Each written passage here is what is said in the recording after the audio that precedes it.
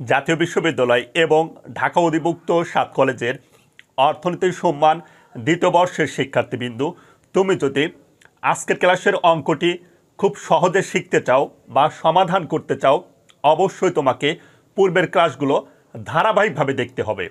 আর পূর্বের ক্লাসগুলো ধারাবাহিকভাবে দেখতে চাইলে এখনই এই চ্যানেলের লোগোতে ক্লিক করে প্লে লিস্টে গিয়ে দেখো গাণিতিক অর্থনীতি দ্বিতীয় বর্ষ নামে একটি ফোল্ডার রয়েছে। সেই ফোল্ডারে ক্লিক করে ক্লাসগুলো তুমি সিরিয়াল মোতাবেক দেখতে পারবে। আজকের ক্লাস থেকে আমরা নতুন নিয়মের অঙ্ক শিখব, আর তা হলো অসমজাতীয় অন্তর সমীকরণের অঙ্ক। অসমজাতীয় অন্তরর সমীকরণের অঙ্কে আবার মন্তব্য বা ব্যাখ্যা বা প্রকৃতির বিশ্লেষণ চাই। তাই প্রথমে আমি মন্তব্যগুলো লিখে দেব, মন্তব্যগুলো যতভাবে তোমাদের আসতে পারে আমি ততভাবেই লিখে দেব। তারপর আজকের ক্লাসে আমি অসমজাতীয় অন্তর সমীকরণের দুটি অঙ্ক সমাধান করে দেব। তোমরা মন্তব্যগুলো বোর্ডে লক্ষ্য করো, দেখো এক নাম্বার ডিটারমিনেন্ট এখানে নির্ণয় চিহ্ন। গেটার দেন যদি অন হয়, হলে ভারসাম্য বহির্মুখী বা অপসারী বা ডিভারগেন্ট হবে। শুধু তোমাকে মুখস্থ করতে হবে যে কখন বহি- বহির্মুখী বা অপসারী বা ডিভার্গেন্ট হবে। আশা করে বুঝতে পেরেছ। দুই number determinant less than one হলে ভারসাম্য অন্তর্মুখী বা অভিসারী বা কনভার্গেন্ট হবে। ওকে এই দুইয়ের সাথে পাশের দেখা একটু সম্পর্ক রয়েছে। এটি আর এটি সেম এই যে, তাহলে হলে ভারসাম্যের সময় পথ গতিশীল অবস্থায় স্থিতিশীল হবে। দেখো, যখন বলবে যে অন্তর্মুখী সম্পর্কে মন্তব্য থাকবে, তখন তোমাকে অন্তর্মুখী লিখতে হবে। কিন্তু যখন প্রশ্ন বলবে যে গতিশীল অবস্থায় স্থিতিশীল কিনা, তখন তোমাকে লিখতে হবে গতিশীল অবস্থায় স্থিতিশীল। অর্থাৎ এই মন্তব্য দুটি অর্থে ব্যবহার করা যাবে। আশা করে বুঝতে পেরেছ। তিন number B less than zero হলে, এখানে কিন্তু ডিটারমিনেন্ট চিহ্ন নেই। লেস দেন জিরো হলে ভারসাম্যের সময় পথ দোলাইমান বা ওথান পতন বা অসিলেটরি হবে। Okay. B greater than zero হলে ভারসাম্যের সময় পথ অদোলয়মান বা স্থিতিশীল বা নন অসিলেট অসিলেটরি হবে। অসি অসিলেটরি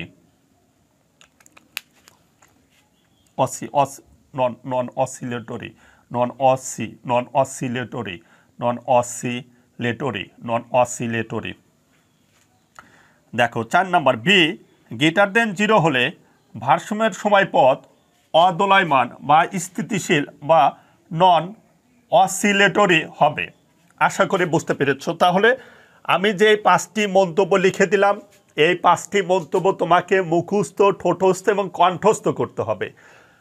মন্তব্যগুলো যদি মুখস্থ না থাকে, সেক্ষেত্রে কিন্তু অঙ্কে যে মন্তব্য চাইবে, সেই মন্তব্য তুমি মোটেও লিখতে পারবে না। আর মন্তব্য আমার খুব একটি বোঝার নেই, আমি যতটুকু বোঝানোর তা বুঝিয়ে দিয়েছি। এখন অবশ্যই তোমাকে এইগুলো মুখস্থ করতে হবে, তারপর অঙ্ক সমাধান করতে হবে। এখন আমি আজকের ক্লাসে অসমজাতীয় অন্তর সমীকরণের দুটি অঙ্ক সমাধান করে দেব। তোমরা প্রথম অঙ্কটি বোর্ডে লক্ষ্য করো। দেখো, প্রশ্ন এক five Y T plus two into Y T minus one minus একশো চল্লিশ সমান জিরো এবং ওয়াই নট সমান চল্লিশ। অন্তর সমীকরণটির সময় পথ নির্ণয় করো ও প্রকৃতি ব্যাখ্যা করো। প্রথমে বলে নেই সময় পথ মানে কি, এখানে সময় পথ মানেই নির্দিষ্ট সমাধান। আশা করি মনে থাকবে। আর প্রকৃতি ব্যাখ্যা মানে মন্তব্য। আর অঙ্কটি অসমজাতীয় অন্তর সমীকরণের অঙ্ক কেননা এখানে ধ্রুবক সংখ্যা একশো চল্লিশ রয়েছে। আশা করি তোমরা বুঝতে পেরেছ। আমরা সমাধান দিয়ে শুরুতে লিখব দেওয়া আছে। ওকে। আমরা দেওয়া আছে দিয়ে উঠিয়ে নেব। দেওয়া আছে। ওকে। তারপরে এই রাশিটি আমরা সাজিয়ে নেব। অতএব five Y T plus two Y T minus one সমান একশত, এই হলো চল্লিশ, সমীকরণ এক।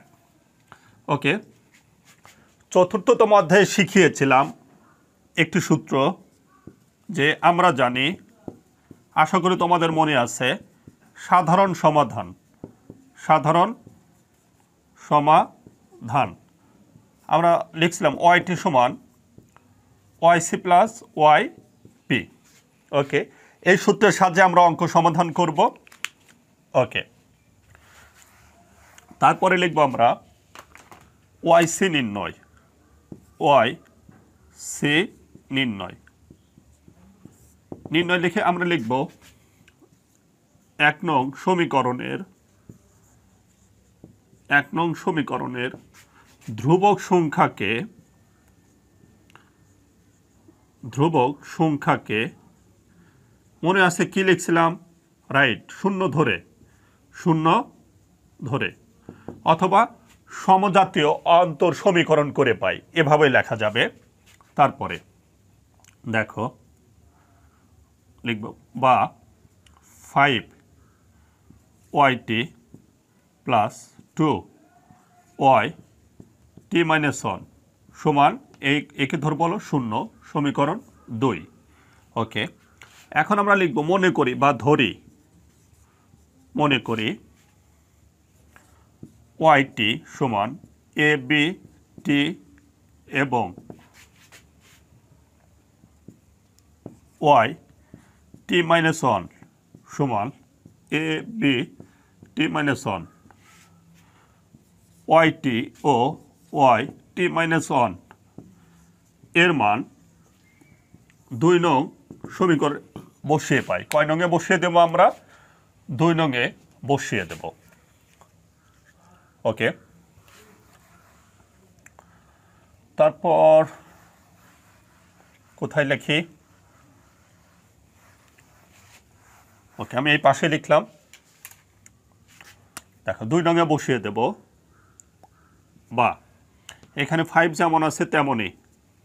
ওয়াইটির মান আমরা ধরেছি হলো এ বিটি আমরা লিখব এখানে এ বি টি তারপরে প্লাস টু যেমন আছে তেমনই ওয়াই টি মাইনাস ওয়ানের মান হলো A B T minus one সমান আমাদের ছিল জিরো এখান থেকে সর্বদা আমরা বির মান নিয়ে আসব। তাই আমরা প্রসেস করব বা ফাইভ এ বি টি সমান। এটি এই পাশে আছে প্লাস ওই পাশে দিয়ে দেবো মাইনাস হবে। Two A B T minus one okay তারপর আমরা লিখব বা ফাইভ এ বি টি এখানে শুধু এই সংখ্যা রেখে বাদ বাকি অংশ আমরা এই পাশে নিয়ে আসব। এই পাশে আছে গুণ, এই পাশে আসলে হবে ভাগ। আমি গত ক্লাসে শিখিয়েছিলাম। A B T minus one okay সমান মাইনাস টু এখানে এ এ এ এ কেটে যায়। ওকে বা ফাইভ এখানে B B base base common নেব। বি কমন নিলাম। তাহলে উপরে রয়েছে টি আর এইটি এই নিচ থেকে উপরে যাবে, তার মানে মাইনাস হয়ে যাবে। এখানে মাইনাস টি মাইনাস আর এই মাইনাস মাইনাসে মাইনাসে প্লাস ওয়ান সমান মাইনাস টু এখানে এই টি টি কেটে যায়। তাহলে অবশিষ্ট এখানে ফাইভ বি সমান মাইনাস টু বা বি সমান মাইনাস টু ভাগ ফাইভ সমান মাইনাস টু ভাগ ফাইভ দিলে কত হবে তোমরা দাও টু ভাগ ফাইভ জিরো পয়েন্ট ফোর তাহলে মাইনাস জিরো পয়েন্ট ফোর এইটা সমান লেখা যায়, অতএব এটা মানে লেখা যায় ওয়াইসি সমান ওয়াইটি আবারও বলছে, এইটি সমান লেখা যায় ওয়াইসি সমান ওয়াইসি সমান ওয়াইটি আর ওয়াইটি বলতে এই ওয়াইটিকে বোঝানো হয়েছে। তাহলে এখানে এ যেমন আছে, তেমনই। আমরা সর্বদা এখানে বীর মান বসিয়ে দেব। বীর মান আমাদের মাইনাস জিরো পয়েন্ট ফোর তার উপর আছে কত? টি আশা করি তোমরা বুঝতে পেরেছ। তাহলে আমরা এটি দেব হলো তিন নং সমীকরণ। তাহলে সাধারণ সমাধানে এটি বলা হয় সাধারণ সমাধান। কি সমাধান? সাধারণ সমাধান। যদি বলতো সাধারণ সমাধান বের করো, তাহলে আমরা লিখতাম ইহা নিম্ন সাধারণ সমাধান। ওকে তারপরে দেখবা, এখন আমরা ওয়াইপি নির্ণয় করব। তাই আমরা লিখব ওয়াইপি নির্ণয়। নিয়ে লিখব যে, আবার ধরব, ধরে, দেখো ওয়াইটি সমান কে এবং ওয়াই টি মাইনাস ওয়ান সমানও কে দুটি সমানে আমরা কি ধরবো? কে এর মান আমরা এখন বসিয়ে দেবো এক নং সমীকরণে। এক নং সমীকরণে বসিয়ে তোমরা ফুল মিনিং লিখে নিবে। তাহলে, এখানে ফাইভ যেমন আছে তেমনই, এর মান ধরেছি কে প্লাস এই টু যেমন আছে তেমনই, এর মানও আমরা ধরেছি কে সমান একশত চল্লিশ বা সেভেন কে সমান একশত চল্লিশ। অতএব কে সমান একশো চল্লিশ ভাগ হলো সেভেন একশো চল্লিশ ভাগ সেভেন তার মানে আমাদের হবে বিশ। কত হবে? বিশ হবে। ওকে। তোমরা যদি প্রাইভেট বা কোচিংয়ে না গিয়ে ঘরে বসে থেকে পড়াশোনা করে গাণিতিক অর্থনীতি বিষয়ে ভালো ফলাফল করতে চাও, তবে এখনই আমাদের কাছ থেকে এই বিষয়ের ফুল পেইড কোর্সটি সংগ্রহ করো। তোমরা যারা এই ফুল পেইড কোর্সটি কিনবে, তাদেরকে আমরা একটি গ্রুপের আওতায় নিয়ে আসব। যার ফলে ভুলেও যদি কোনো ক্লাস বুঝতে প্রবলেম হয়, গ্রুপে কথা বলে সঙ্গে সঙ্গে বিষয়টি একশো পার্সেন্ট সমাধান করে দেওয়া হবে। অর্থাৎ প্রাইভেট বা কোচিংয়ে গিয়ে যতটা না সুযোগ সুবিধা পাও, তার চেয়ে অধিক পরিমাণ সুযোগ সুবিধা তোমরা আমাদের কাছ থেকে পেয়ে যাবে। পুনরায় দেখো। অতএব এখানে ওয়াইপি সমান কে ওয়াইপি মানে কি? লেখা দেবে কে আর কে সমানে আমাদের কত বের হয়েছে? বিশ বের হয়েছে। আশা করে বুঝতে পেরেছ। এখন আমরা সাধারণ সমাধানের পুনরায় সূত্রটি লিখব। লিখে আমরা মান বসিয়ে দেব। অতএব ওয়াইটি সমান ওয়াইসি প্লাস ওয়াই পি তাহলে ওয়াইসির মান আমরা বের করেছি A minus zero point four T plus Y P বের করলাম আমরা কত? এই যে, কে মানে ওয়াইপি ওয়াইপি মানে কে আর কে মানে কত? বিশ। আমার একটি কথা মিস্টেক হয়েছিল। আমি বলছিলাম যে ইহা নিম্ন সাধারণ সমাধান। আমার বলতে ভুল হয়েছিল না। যদি শুধু সাধারণ সমাধান বের করতে বল- হতো, তাহলে এখানে লিখতাম, ইহা নিম্ন সাধারণ সমাধান। কিন্তু আমাদের দামের সময় পদ অথবা নির্দিষ্ট সমাধান বের করতে বলা হয়েছে। তাই সাধারণ সমাধানে এর মান আমাদের ফিরে দিতে হবে। এর মান ফিরিয়ে দিলে বা বসিয়ে দিলেই আমাদের দামের সময় পথ অথবা নির্দিষ্ট সমাধান পাওয়া যাবে। আশা করি তোমরা বিষয়টি বুঝতে পেরেছ। তাই লিখব যে ধরি টি সমান জিরো হলে টি সমান জিরো হলে ওয়াই টি সমান ওয়াই জিরো ওয়াই জিরো সমান কত? চল্লিশ। ওকে এখানে তোমরা, এর আগে মনে আমি তিনটি সমীকরণ দিয়েছিলাম। এখানে তুমি চার নং সমীকরণ দিতে পারবা। এখন দেখো, যে মান বসিয়ে দেবো আমরা, বা ওয়াইটি মানে ওয়াই জিরো তাহলে ওয়াই জিরো কত? ওয়াই জিরো হলো চল্লিশ, তাহলে এখানে আমরা বসিয়ে দেবো চল্লিশ, সমান। এ যেমন আছে, তেমনই। মাইনাস জিরো পয়েন্ট ফোর যেমন আছে, তেমনই। পূর্বেও শিখিয়েছি টি হলো জিরো প্লাস এই হলো বিশ, বা চল্লিশ সমান A minus zero minus zero point four উপর জিরো মানে অন অন প্লাস বিশ বা এ প্লাস বিশ সমান চল্লিশ বা এ সমান চল্লিশ মাইনাস বিশ, অতএব এ সমান বিশ। এ এর মান এ এর মান চার নং সমীকরণে বসিয়ে, অতএব ওয়াইটি সমান, এর মান হলো আমাদের বিশ। কত? বিশ, তারপরে minus zero point four, zero point four, তার উপরে টি প্লাস বিশ। ইহা নির্ণয় দামের সময়পদ বা নির্দিষ্ট সমাধান। আশা করি অঙ্কটি তোমাদের কাছে অনেক সহজ মনে হয়েছে। এখন আমরা অঙ্কটির প্রকৃতি ব্যাখ্যা বা মন্তব্য লিখে আমি সুন্দরভাবে বুঝিয়ে দেব। শিক্ষার্থীবৃন্দু এখন আমরা মন্তব্য লিখব বা প্রকৃতি ব্যাখ্যা করব। মন্তব্য সর্বদা বীর মানের উপর ভিত্তি করে লিখতে হবে, বীর মান আমাদের বের হয়েছিল জিরো পয়েন্ট ফোর। এখানে মন্তব্য দুটি লেখা যাবে। কয়টি? দুটি। দেখো, আমি লিখে দিয়েছি প্রকৃতি ব্যাখ্যা, লিখে একে লিখছি এখানে বি সমান মাইনাস জিরো পয়েন্ট ফোর অর্থাৎ এখানে মাইনাস জিরো পয়েন্ট ফোর অপেক্ষা জিরো বড়, তাই দিয়েছি লেস দেন জিরো ফলে সময় পথ হবে দোলায়মান আমি যে মন্তব্য লিখে দিয়েছিলাম, পাঁচ থেকে ছয়টি, তার মধ্যে থেকে লিখব। দেখো, যখন এইরকম ছিল, তখন আমি লিখে দিয়েছিলাম যে ভারসাম্যের সময় পথ হবে দোলয়মান আশা করে বুঝতে পেরেছ, তোমরা মনে রাখবা। দুই, এখানে আবার বি সমান minus zero point four okay বিকে আমরা এই ডিটারমিনেন্ট বা নির্ণয়ক চিহ্ন দেবো। যখন এই নির্ণয়ক বা সোজা টান দেবো, তখন এই মাইনাস ওয়ান হয়ে যাবে প্লাস কি হয়ে যাবে প্লাস আর জিরো পয়েন্ট ফোর অপেক্ষা এক বড়।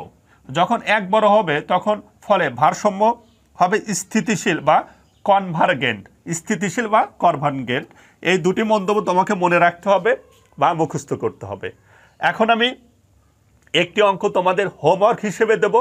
তোমরা আজকের ক্লাসের দুই নং অঙ্কটি বা হোমওয়ার্কটি লক্ষ্য করো। দেখো, প্রশ্ন দুই ওয়াইটি সমান three into Y T minus one minus দশ এবং ওয়াই নট সমান সেভেন হলে সাধারণ সমাধান ও নির্দিষ্ট সমাধান বের করো। রাশিটি একটু এলোমেলোভাবে দেওয়া আছে, আমি সাজিয়ে নিয়েছি। দেখো, এখানে ওয়াইটি যেমন আছে তেমনই। এটি ছিল প্লাস এই পাশে আসলে হবে মাইনাস আর এখানে মাইনাস দশ যেমন আছে তেমনই থাকবে। আমি রাশিটি সাজিয়েও দিয়েছি, অঙ্কটি অবশ্যই তোমাদের করতে হবে। সাধারণ সমাধানের অ্যান্সার হবে এ ইন্টু থ্রি তার উপর টি প্লাস ফাইভ আর নির্দিষ্ট সমাধান টু ইন্টু থ্রি তার উপর টি প্লাস ফাইভ আশা করি অঙ্কটি তোমরা মিলাতে পারবে। যদি মিলাতে না পারো, সেই ক্ষেত্রে অঙ্কটির আমি পিডিএফ দিয়ে দেবো। অর্থাৎ সমাধানের পিডিএফ দিয়ে দেবো, তখন তোমরা বিষয়টি মিলিয়ে নিবে। এখন এই নিয়মের শত শত, হাজার হাজার অঙ্ক সমাধান করা সম্ভব। অঙ্কগুলো অনেক বেশি গুরুত্বপূর্ণ। আমি আবারও বলব, আমি বোর্ড পরীক্ষার পূর্বে অবশ্যই একটি ফাইনাল সাজেশন করব, তখন আমি এই অধ্যায় থেকে মাত্র সামান্য কয়েকটি অঙ্ক ধরব। ওই কয়েকটি অঙ্ক সমাধান করতে পারলে তোমরা বোর্ড পরীক্ষায় একশো পার্সেন্ট কমন পাবে। অঙ্কগুলো নানাভাবে সমাধান করা যায়। আমি সবচেয়ে সহজ পদ্ধতিতে শিখিয়ে দিয়েছি। ভালো থাকবে। পরবর্তী ক্লাসেও আমরা এই ধরনের আরও একাধিক অঙ্ক শিখব। আল্লাহ হাফেজ।